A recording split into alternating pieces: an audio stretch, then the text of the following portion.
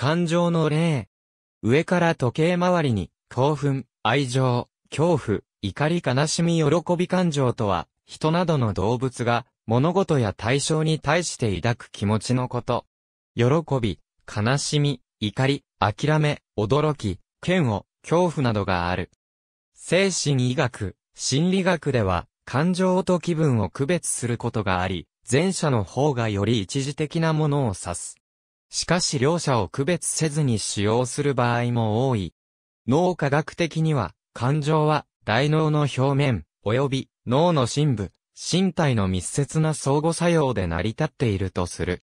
また感情と思考や認知は、たとえその人が意識に上らせなくても、密接に関係し合っている。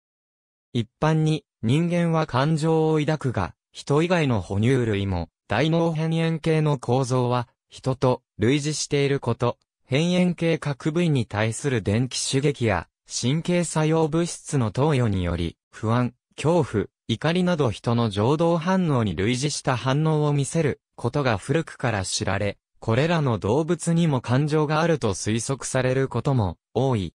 ただし、比較認知科学的には、研究が始まったばかりであり、あくまでも刺激と行動の相関関係が観測されているだけに過ぎないとする主張もある。生活文化においては単に情と略することがある。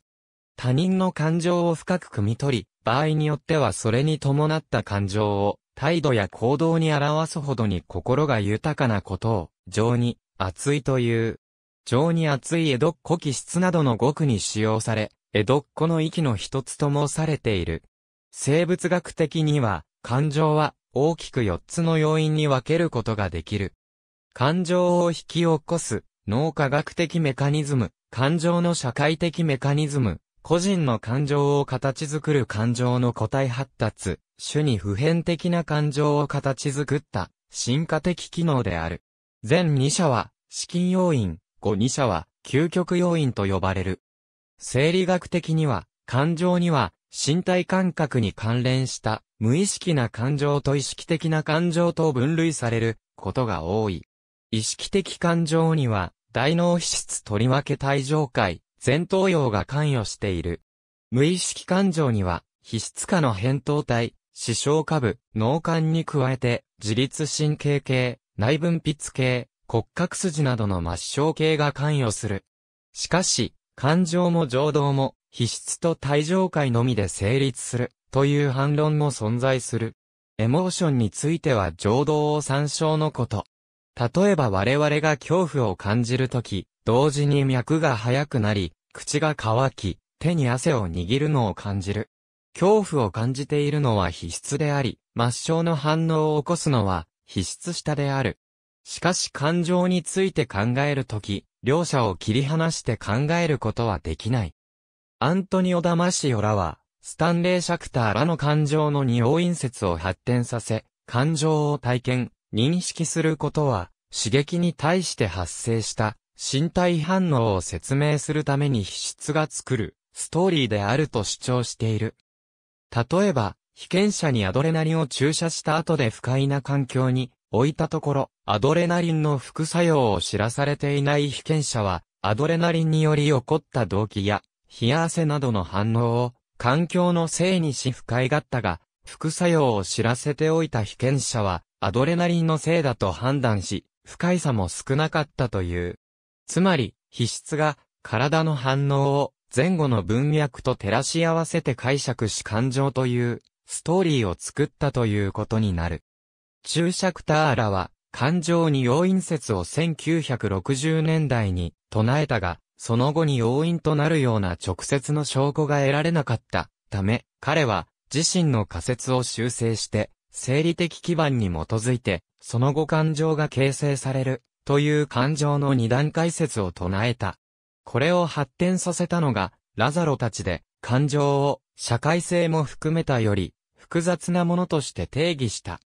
マグダー・アーノルドの感情理論では、外界からの刺激に対して、まず危険であるか有益であるかを、皮質化及び体上界で無意識に判断し、次に、皮質で、どう行動するかを判断する。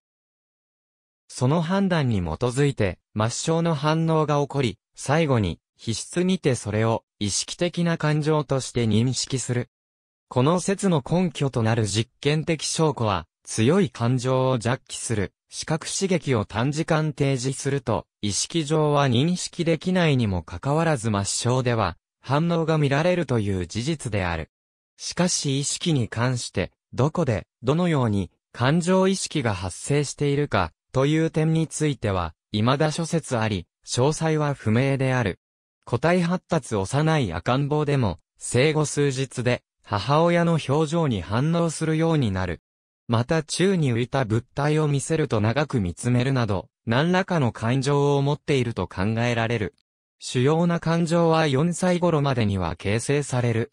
進化心理学では、感情の仕組みは、環境に応じて素早く行動を決定するための生物学的適応であり、進化の過程で形成されたと考える。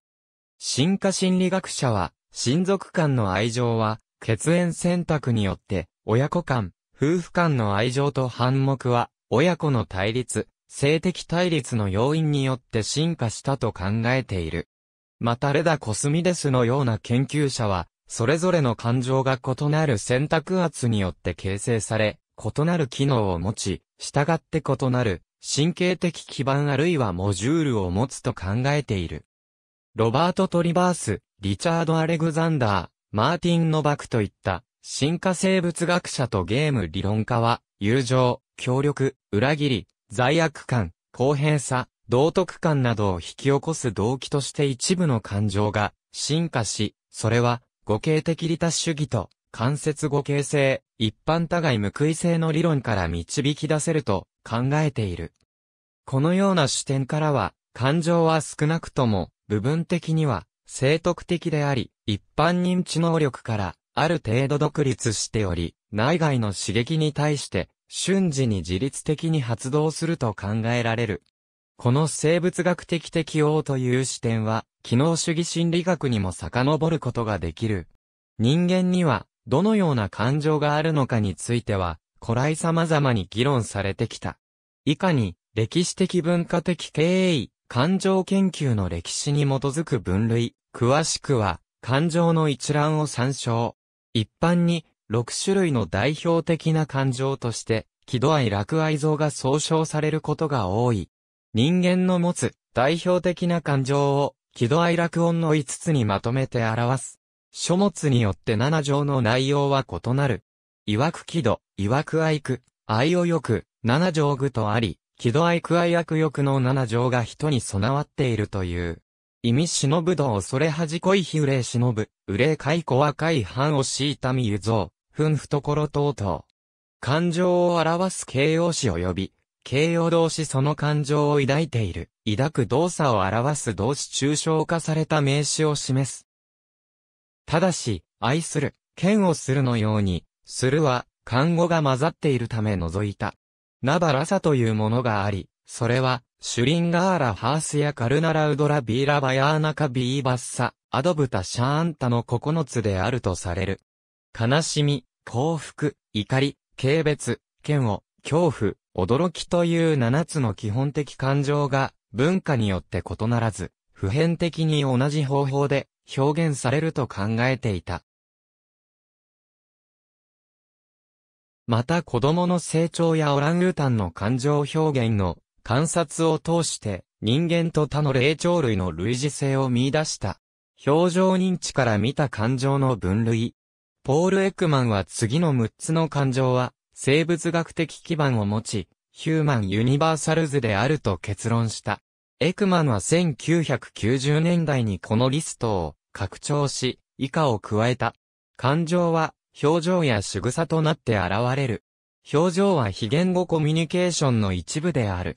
表情は自律的に働き、訓練しないと意識的にコントロールできない。また、ヒューマンユニバーサルな性質であり、どの文化でも基本的な表情は共通している。進化的な視点からは、コミュニケーション信号は他個体を操作するために自由にコントロールできる方が有利であると考えられるが、そうなっていない。